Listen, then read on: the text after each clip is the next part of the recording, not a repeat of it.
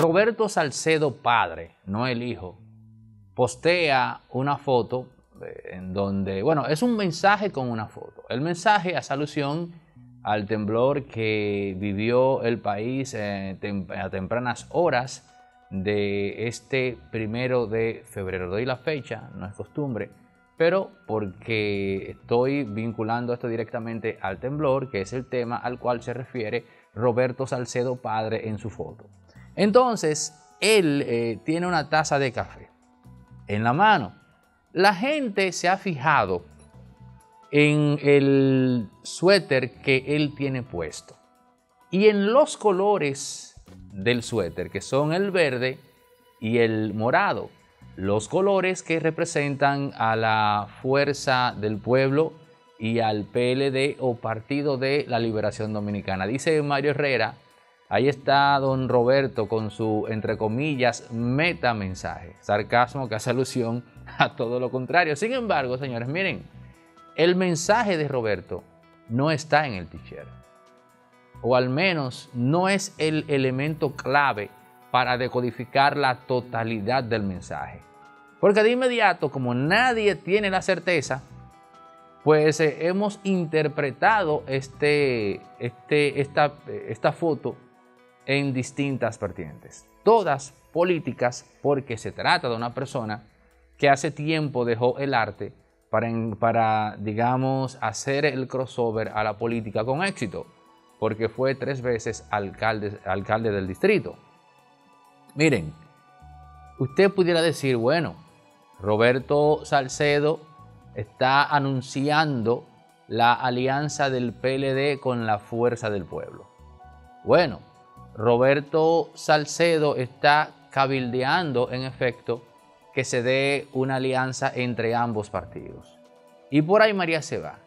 Pero lo primero que usted tiene que recordar es que la relación política entre Danilo Medina y Roberto Salcedo no terminó bien. Y que, por lo tanto, Roberto sería eh, indefectiblemente más aliado de Leonel por la milla que de Danilo. Digo esto porque al vuelo entonces le deja saber a usted lo que no solo yo, sino otros tantos han dicho, que Danilo Medina es un obstáculo real para una alianza del PLD con la fuerza del pueblo. Elvin Castillo, por ejemplo, colega, se ha inscrito en esa narrativa y otros. Entonces, ese mensaje en cuestión va más de la mano de Abel Martínez, Leonel Fernández y punto. No tiene que ver nada con Danilo Medina. Pero yo dije aquí, yo dije, señores, el mensaje no está en el suéter. Y si yo digo que no está en el suéter, entonces, ¿dónde está el mensaje? Adivinen dónde. En la taza de café. Sí, es la taza de café lo que revela no solo la intención, sino el estado de cosas actualmente entre el PLD y la fuerza del pueblo, o más bien, o más prudente sería decir, entre la fuerza del pueblo y la vertiente del PLD que comprende a Abel Martínez. Usted se toma una taza de café temprano en la mañana cuando está en paz. Usted invita a un amigo a tomarse una taza de café. ¿Qué es lo que está haciendo Roberto Salcedo? ¿Cuál es el mensaje que en verdad él está dando? Bueno, que él entiende que el PLD y la fuerza del pueblo tienen que sentarse a dialogar. Entonces, dialogar con miras a qué? Bueno, a una alianza. Lo que delata, lo que comunica el t-shirt que tengo puesto. Fíjense en la taza de café primero y luego en el t-shirt y comprenderán entonces el mensaje a plenitud. Pero al mismo tiempo se darán cuenta que por lo visto, o al menos al nivel de información que tiene Roberto Salcedo Padre, una posible alianza entre Abel Martínez y Leonel Fernández tal vez esté dando pasos iniciales, pero aún no tiene nada concreto que permita que la misma se cierre. La gente vio el t-shirt, vio los colores Nadie se percató de la bendita taza de café. Y es ahí donde radica el mensaje en verdad. Claro, si usted se fija directamente en el teacher, puede asumir que Roberto Salcedo está anunciando una alianza que ya está consumada o una alianza que viene en camino. Pero cuando pensamos y meditamos en la taza de café, nos damos cuenta que ninguna de las dos, o de las dos opciones, Roberto Salcedo padre, está hablando de, la, eh, de que ambos partidos tienen que sentarse a negociar eso. Porque la taza de café, cuando usted la decodifica a nivel semiótico, eso es lo que nos da. Ahora, eso de cara a nosotros nos deja un interrogante. Porque aquí hablamos del nombramiento como embajador que le tenía preparado el presidente Luis Abinader a Roberto Salcedo Padre. Y yo me pregunto, ¿será acaso que eso se cayó? ¿O será acaso que al no ser prioridad para Luis Abinader, Roberto Salcedo Padre entiende que, caramba, no vale la pena esperar eso y básicamente hacer camino en otra dirección? Déjenme decirles que no me parecería nada desacertado que así como el hijo está con el PRM, el padre esté entonces fraguando por su lado una alianza o apostando ¿no? a una alianza PLD de Abel Martínez con la fuerza del pueblo de Leonel Fernández. El hijo en una esquina y el padre en otra. Algo así como lo que hicieron Lisandro Macarrulla y Osvaldo Oyer en las pasadas elecciones. Lisandro se fue con el PRM y Osvaldo Oyer se quedó en la esquina de Gonzalo Castillo. No sería la primera vez que en la política dominicana se ejecuta ese tipo de maniobras. Pero esa foto, ese entre comillas metamensaje, lo que quiere decir en verdad, si incluimos la taza de café, es que Roberto Salcedo está llamando a que Abel y Leonel se sienten ya a negociar su pacto, su alianza de cara al año 2024, dejando desde luego fuera nada más y nada menos que al presidente del partido, Danilo Medina. Farmacia Medicar GBC es la farmacia de los dominicanos, abierta de lunes a domingo y con los medicamentos de la hipertensión y la diabetes a un 30% de descuento. Farmacia Medicar GBC. El agarra 4 y hace millonario,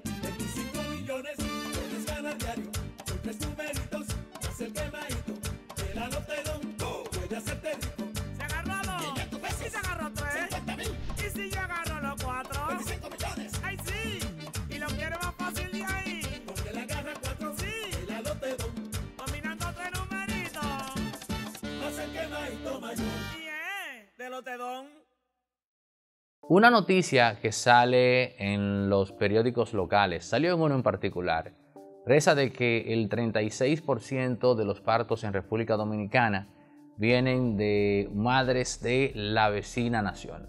Si usted toma en cuenta que el ratio de niños nacidos dominicanos versus el de niños de la vecina nación es muy inferior, algo así como que nuestro ratio está, o nuestro averaje promedio está en 1.8, ni siquiera dos niños, y el de ellos anda por encima del, 4, y a, a ese déficit usted le, le calcula 15, 20 años, inevitablemente, de cara a ese tiempo, nosotros seremos minoría. Y si ese escenario se llega a dar, lo que voy a plantear y ojalá ustedes tengan paciencia y discernimiento, porque es algo muy delicado. Pero les advierto en buen sentido que si logran comprender lo que voy a exponer ahora, ya no serán presa de la manipulación. Durante años, muchos nacionales de la vecina nación acá en República Dominicana, documentados o indocumentados, han abogado por derechos, han acusado de discriminación por ser minoría, etcétera, que les han vejado sus humanos derechos, bla, bla, bla, todo eso, ¿no? Y hablan de que son abusados porque son los indefensos, porque son las minorías. Ok. Se supone que si quieren igualdad y equidad, cuando llegase un punto en el cual demográficamente fuesen igual o superior a nosotros, ya por simple inercia esa igualdad o superioridad demográfica se traduce a lo económico y se traduce inevitablemente también a lo político. Ese sería el mejor escenario una vez tengan cuotas de poder por encima de nosotros, en los cuales ellos van a aplicar o deberían aplicar la igualdad, la equidad, no de cara a ellos, porque ya por su poder la tienen garantizada, sino de cara a la nueva minoría que pasarían a ser los dominicanos. Digo nueva minoría porque para ese entonces ellos serían más que nosotros, la minoría seríamos nosotros. Entonces, para ser coherente con su propio discurso, lo que opera es que ellos le garantizasen a los dominicanos eso, cero discriminación, cero vejación de derechos humanos, um, ¿qué más? Eh, un trato igualitario, etcétera, etcétera. Pero puedo decirles desde ahora que no será así. En el momento que ellos sean más que nosotros, en el momento que ellos económica y políticamente puedan decidir, no lo harán sobre la base del criterio de la igualdad, de la equidad, de la no discriminación. No, simplemente van a imponer su poder sobre nosotros. Y será algo letal para nuestra supervivencia.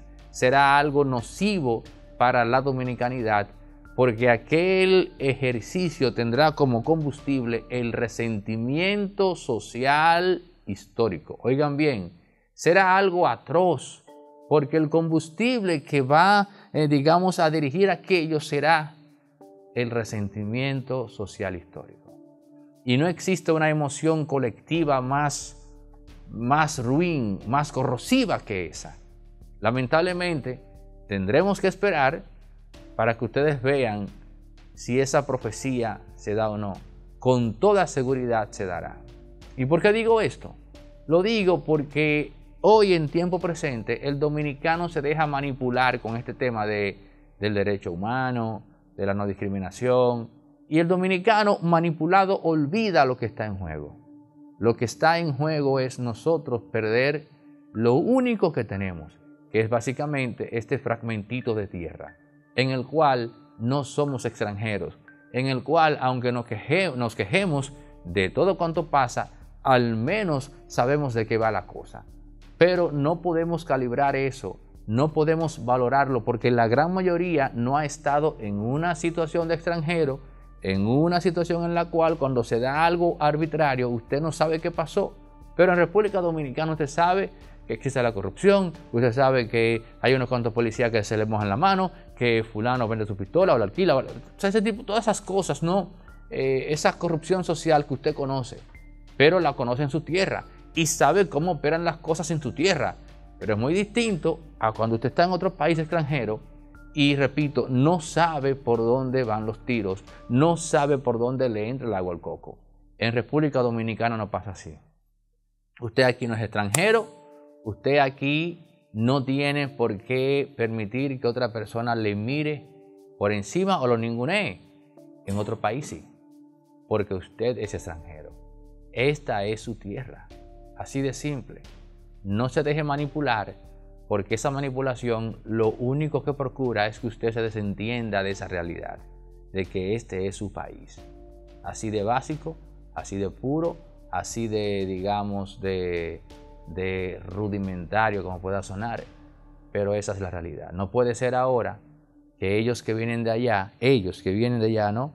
A ocupar RD, entiendan que estos 48 mil kilómetros son de ellos, al tiempo que nosotros mismos no tenemos dicho sentido de pertenencia. Algo estúpido, algo arbitrario. ¿Cómo puede ser que ellos de allá sientan que esto le pertenece y nosotros que estamos aquí eh, andemos por la ligera con ese tema? ¿Es que acaso lo que dice Barbecue de que lo que estamos pendientes es a bailar de dembow y fumar juca? es algo que se puede aplicar, la metáfora como tal, a todos nosotros. Con toda seguridad, lo primero que tenemos que hacer para hacer conciencia sobre esto es dejar, o más bien no permitir que nos manipulen con la cháchara, la perorata de la discriminación, del vejamen o ultraje de los derechos humanos y todas esas cosas que lo que buscan es permitir que esto se pueble de gente que entiende que estos 48 mil kilómetros cuadrados le pertenecen.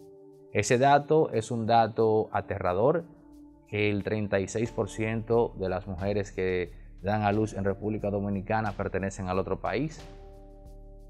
Yo no quiero ni pensar ni saber en qué pararía esto de cara a unos 15, 20, 25 años.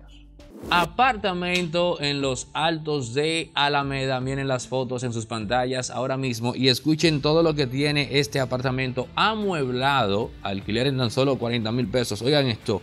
Tiene sala, comedor, cocina, dos habitaciones, dos baños, dos parqueos, sala de estar, calentador de agua, dos aires acondicionados, lavadora, secadora, inversor y tiene servicios incluidos de teléfono, internet, mantenimiento, gas, gimnasio, excepto la electricidad. Miren esas fotos y no solo el apartamento como tal, sino lo que se escogió para amueblarlo, simplemente muy bello. Nos pueden escribir al 829-741-361, repito, 829-741-361 y les ponemos en contacto con Charina Hernández, nuestra representante de bienes raíces.